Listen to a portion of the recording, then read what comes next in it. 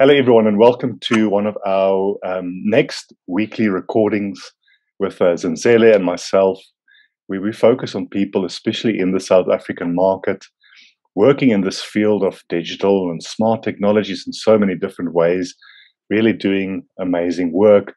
We have a very special guest today. You know, so much talk about customer experience and customer centricity. And, and in my consulting experience, I've really seen big corporates get it really wrong.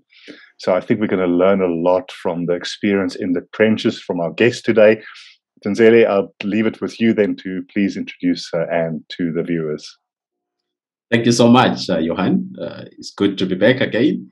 Um, today we um, we have uh, Anne Gray um, in our presence, um, and is very passionate about uh, customer experience. Uh, like Johan was saying, that we're going to talk about uh, CX uh, and consults on CX-led digital transformation strategy and uh, COO experience.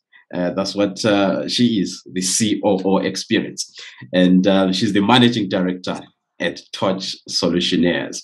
Um, and um, it's, it's, it's, a great pleasure to, to have you in our, in our conversation today. Uh, we are very excited to, to, to, to have you. welcome.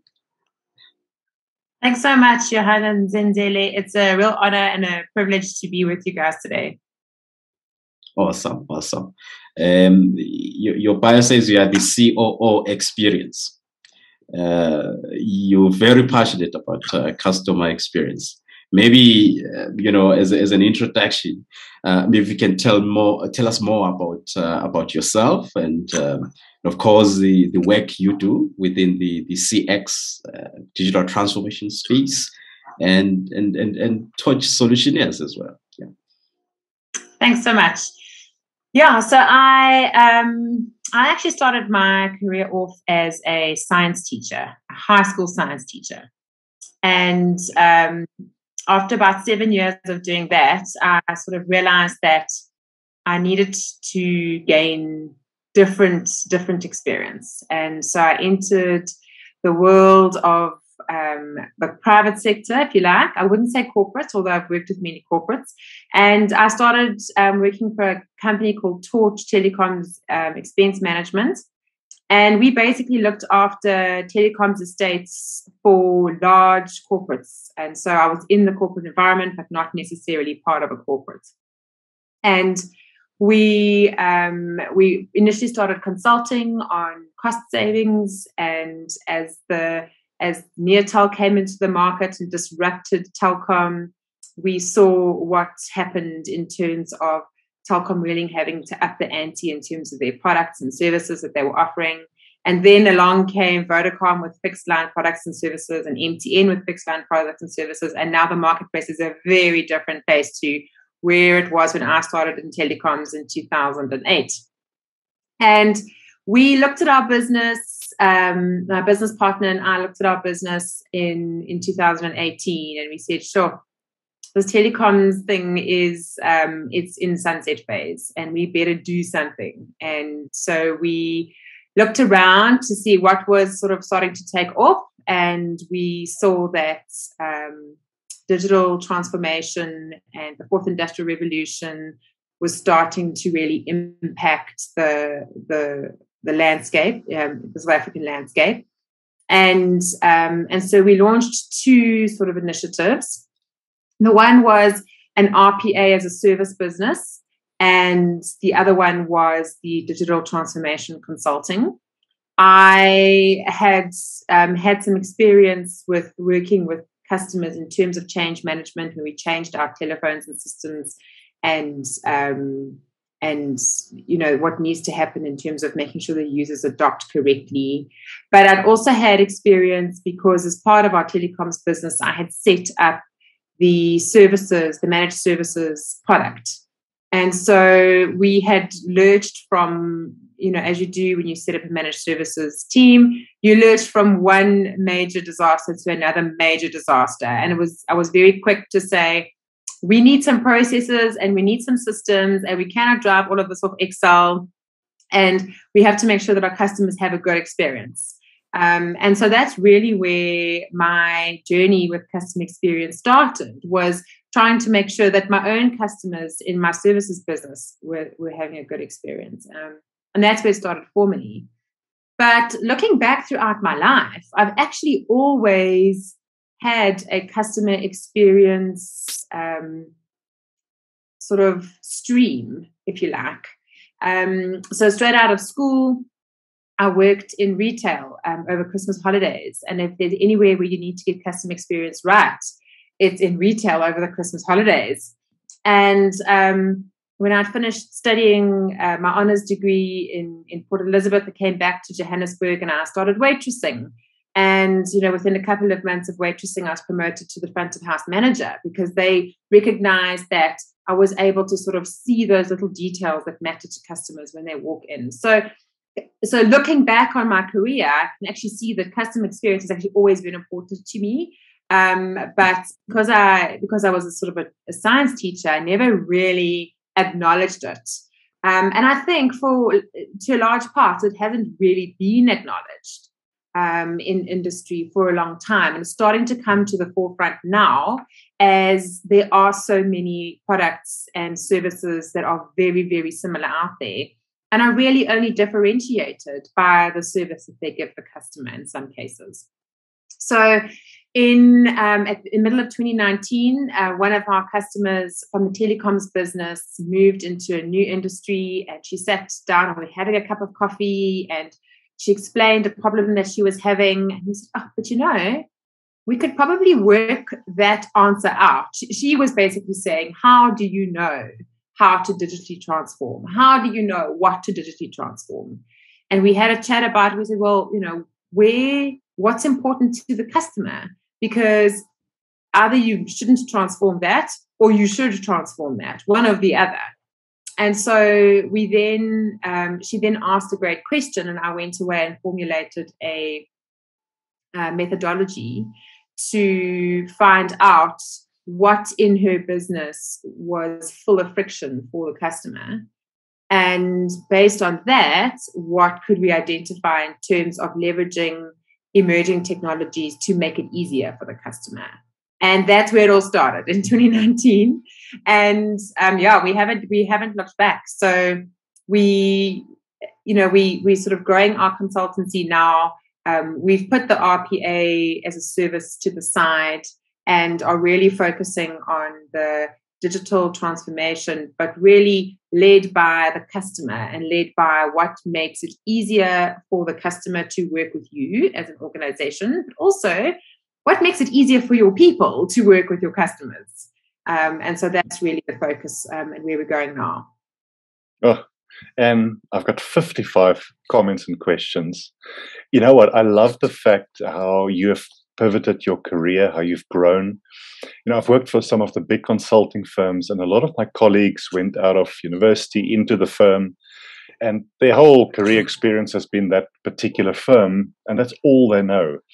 But uh, one of my favorite quotes is that experience is what you get when you don't get what you want.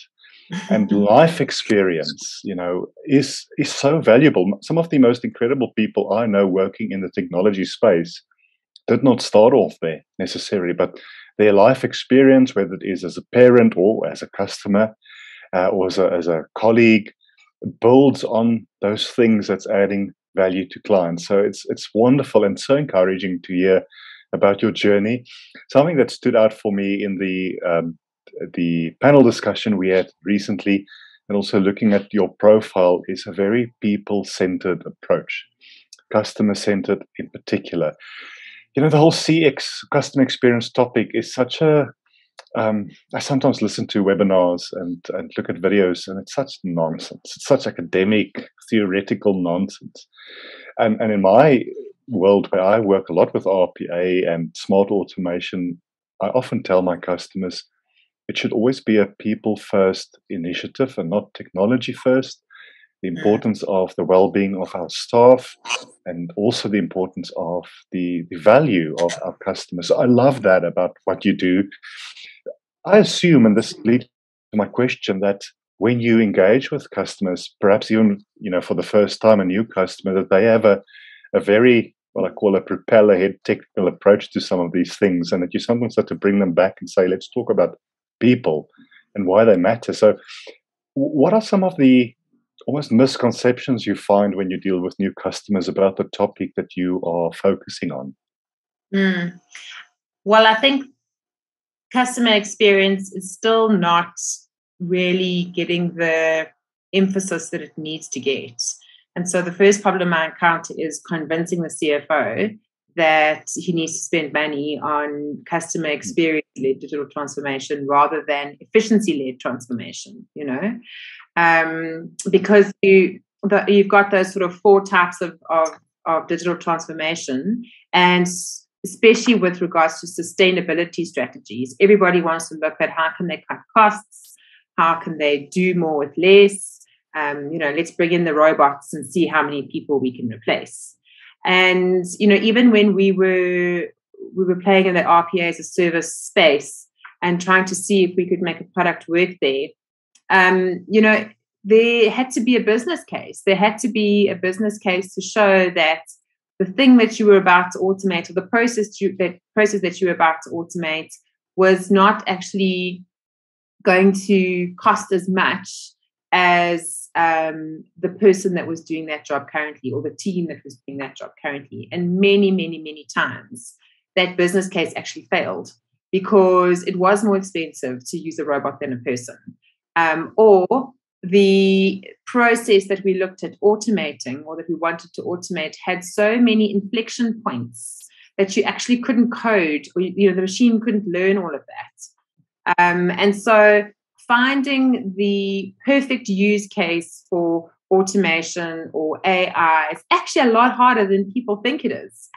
Um, you know, they think, oh, there's a process and we can automate the whole process and then life will be amazing.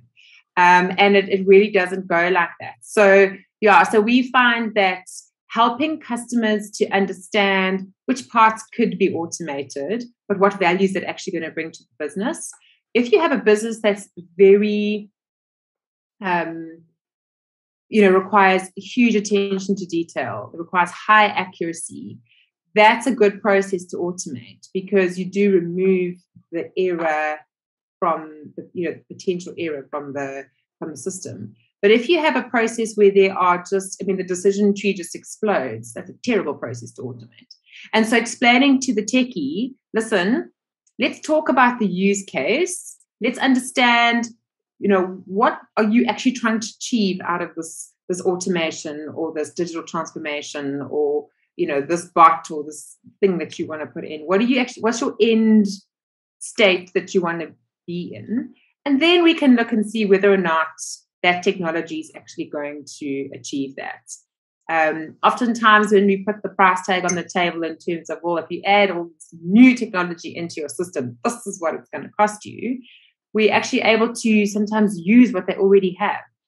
Um, so, oh, you've already got Adobe licenses. Let's use that OCR rather than you know putting in a brand new one. Um, oh, you've already got a document workflow. Great, we can use that rather than putting in RPA. Um, so I think sometimes people are excited about the new toys until they see the price tag, and then the, then they want to know what's. And then the FD gets excited. It's like, oh, I can work with what I have. Great.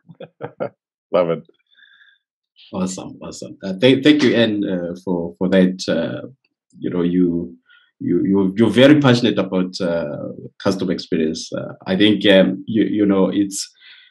Um, I don't know. It's it's, it's not um, really. It's, it's a no-brainer to say that uh, we need to have um, customer experience embedded in in all the technologies that we implement. AI, in, in, particular, um, you know, but we, we have seen that uh, even you know AI is, is being talked about. It's, uh, it's, it's there's almost ubiquitous information about AI and its promises, but you find that the the, the adoption and and and, and uh, of these technologies has been uh, has been has been slow um, you know and um, and maybe maybe maybe this this will actually lead me to to, to the question uh, which I, I think um, you would love to to answer um, you know you, you you recently did a, a research uh, towards your your your MBA where you you were talking about digital transformation uh, the, the, success measurement model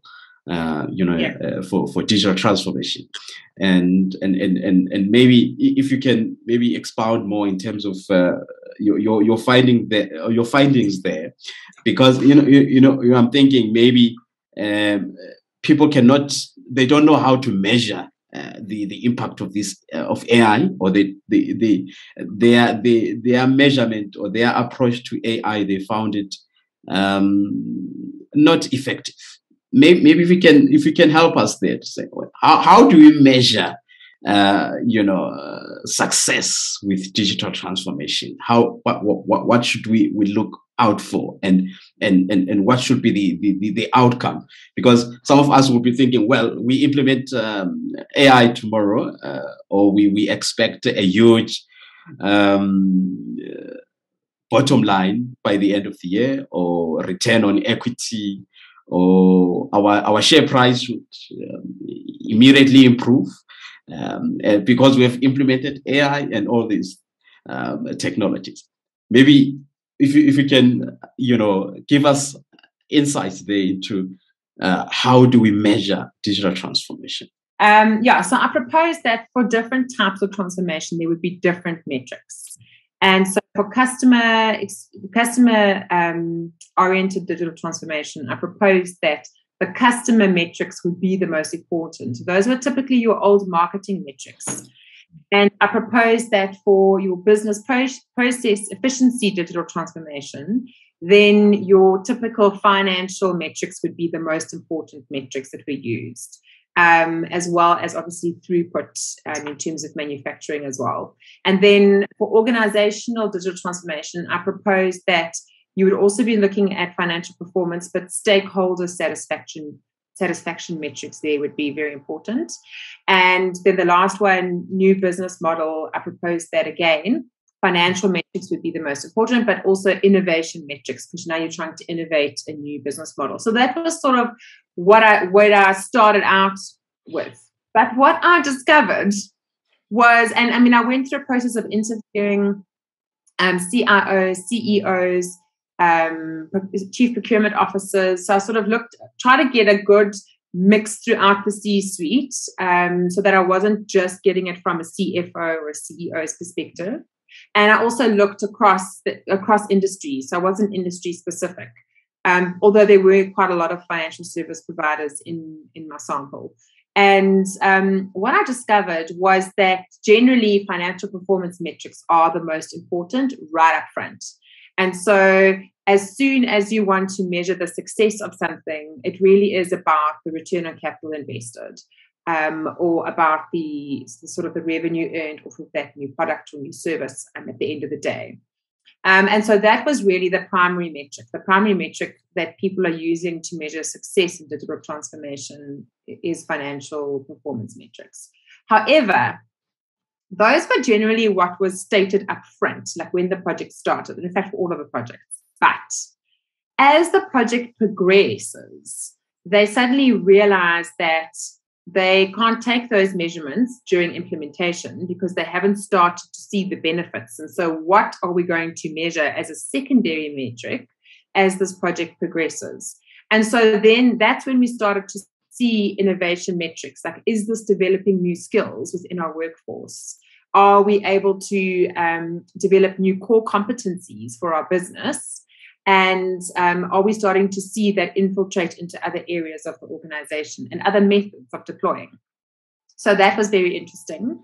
The other metric that I saw emerging strongly was um, the information systems metrics. Those are things like how is the adoption? What is the user uptake like? I mean, it's your old school information systems metrics are still being used during those projects. So you can still really rely on those. Um, and then pretty much only for the customer oriented digital transformations did we see the customer and marketing metrics come through strongly. Um, and so that was that was sort of what I discovered, and and I was shocked. I was actually quite frankly shocked because I really thought the customer was going to feature more. Um, and then the other thing that that sort of also emerged was that the culture of the organization and the structure of the organization needed to then support the metrics that were being measured. Um, and so there was a, because there was a sort of a shift in the way that things were being done and the way that things were being delivered, um, there was an impact on both culture and structure within organizations to be able to support that transformation that was happening, almost regardless of which one, although less so um, when it came to the business process optimizations. And obviously, that one, um, those, I mean, those are your shorter, I think those are your shorter term projects, right? Mm. Um, but you know, if you're looking at a, a, whole new product line or a whole new organizational design, that's a long term project. And then you're going to look at, um, and then sort of all of this is is is is undergirded by whatever the organization strategy was. So strategy drives the digital transformation um, financial performance gets performance gets it off the ground. Um, but then to keep it in the air, you really have to have that culture and and structure of the organization that then underpins um, this new way of working. And so, yeah, that was that was pretty much my findings in a nutshell. Yeah. Again 55 comments and questions on that. You know again you the experience and the wisdom you're sharing is incredible. You can't learn these things in books. You have to experience it. You know i can't remember who, who came up with the quote that um, culture eats strategy for breakfast. It's quite a famous quote Yes. Um, definitely, I think the company culture as part of a digital transformation is such a fascinating uh, topic. And it was incredible to have you here. It was such wisdom. I can't wait to look at this video again and, and make notes. The solutioneers.co.za uh, URL I'll add to the video as well so that viewers can reach out to you and your firm but it was an incredible pleasure and, and it was just sitting back listening to experience and wisdom and not just techie talk is such a wonderful um, kind of a breath of fresh air, if you would. So thank you for for joining us, and uh, it was really incredible. Thank you so much. Thank you, thank you so much for having me. I had a blast. Good stuff. so much.